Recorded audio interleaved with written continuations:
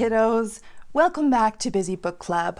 I'm Miss Sunny and I'm here with my very good friend. Forrest. Hi, Forrest. Thanks for coming. Hello, everyone. We are reading a very special book today. It is called Exploring Emotions A Mindfulness Guide to Understanding Feelings. Interesting. Have you read this book before? Yeah, by myself. Did you like it? Pretty good. Do you think the book club will like it? I think so. I think so too. This book is written by Paul Christelis and illustrated by Elisa Paganelli. What do you see on the front of this book? Uh, somebody angry, nervous, sad, and happy. Hmm. Yeah, I definitely think this book is going to be about feelings. Feelings. Because emotions means feelings. That's right, emotions is another word for feelings. All right, here we go, Bizzy book club. Everyone notices the weather outside, don't they?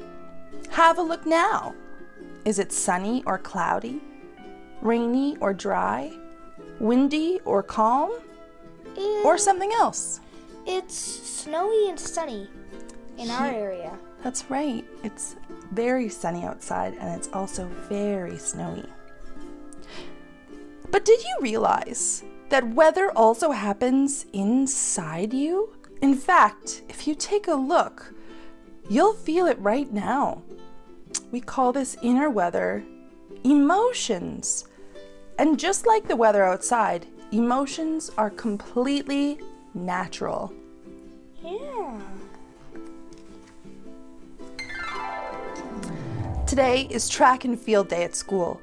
The weather outside is warm and sunny, but for many children, it feels very different. Here's Mateo. He's not feeling warm and sunny at all. When we look at Mateo's face, what can we assume he's feeling? Nervous. Hmm. Inside, Mateo is experiencing a different kind of weather.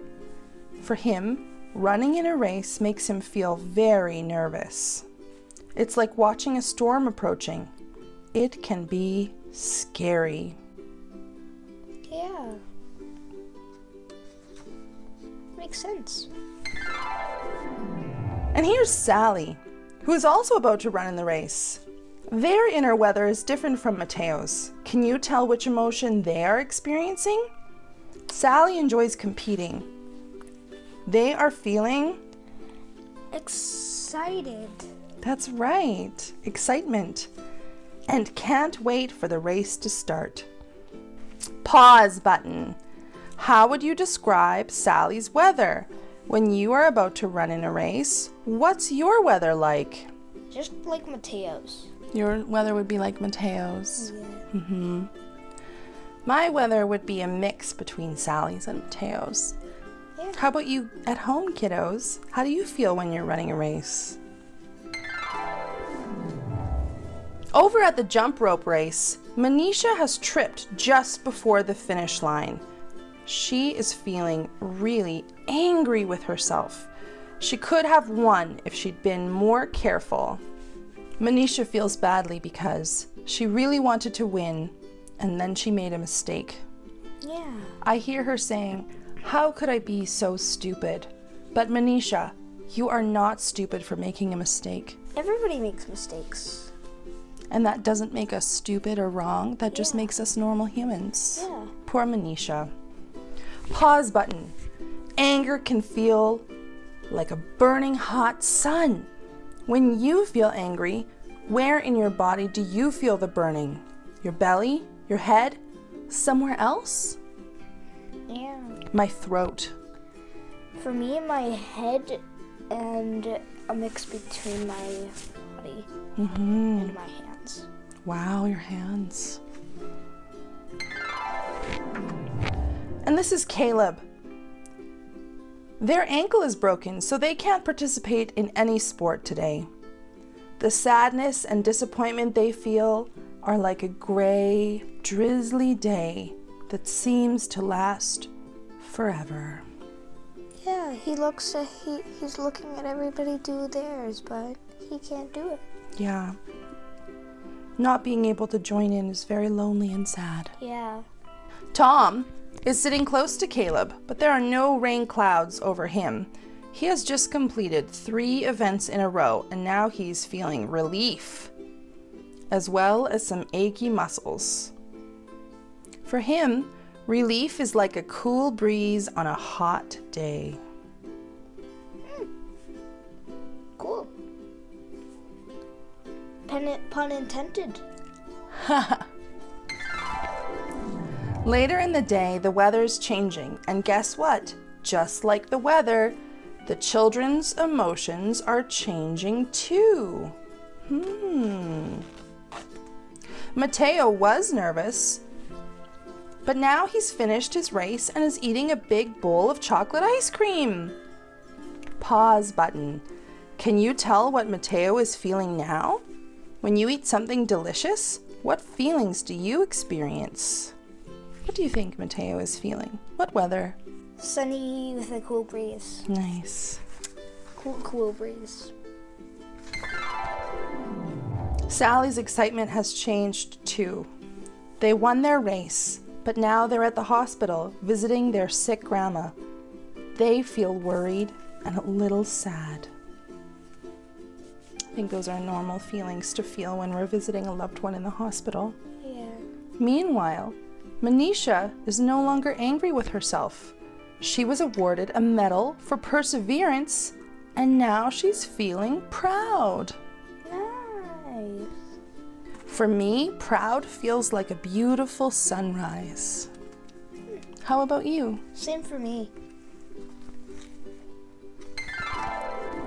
No more drizzle for Caleb. Their cast has been removed, and now they're feeling happy. Looks like a rainbow has come out. Yeah. After all this, after all the rain. And Tom is back home now with nothing to do. Relief has turned to boredom. Cloudy. Cloudy. Changes in our inner weather happen all the time. It's natural and normal.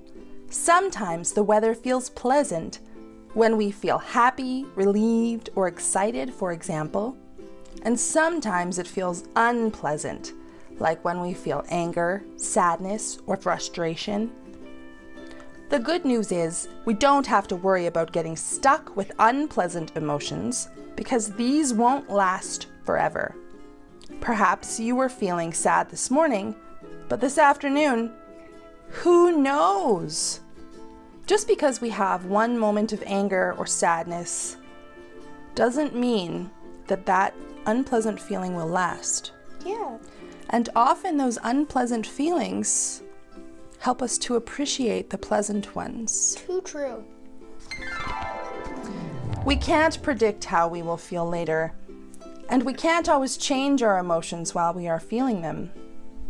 But we can learn to be with these emotions as we feel them. We can accept them just as they are. Hello, nervous feeling in my belly. You feel uncomfortable, but I know you won't stay long. I know you are here, sadness. It's okay because I know you are just a feeling and you will pass. Even when we don't think sadness will pass, we do get breaks from it. Yeah. Right now, I'm not feeling anything in particular, and that's perfectly fine. Pause button. Take a moment to be with what you are feeling right now. How is your inner weather? Sunny, gloomy, stormy, or perhaps there's a lot going on and you don't feel very much. That's fine too. How about you, Forrest? Mine has a bit of snow. It's very sunny, but kind of blinding. That's how your inner weather is? Yeah. Wow. My inner weather is a calm, cool day. Sometimes when weather is very stormy, it feels as if you might get blown away by the strong winds. Anger or nervousness can feel like powerful storms. True. And both anger and nervousness come from fear. When you're in a storm of emotions, try naming the emotion you are experiencing. When you name what you are feeling, the storm often calms down a little and doesn't feel so powerful. This is anger I'm feeling. Here's that nervous feeling again. You know what I like to do? I like to tell people about my feeling, not just name it for myself. That really helps me when someone else notices my weather. Yeah. So take the time to check your personal weather report every day. And remember that we all experience many kinds of weather.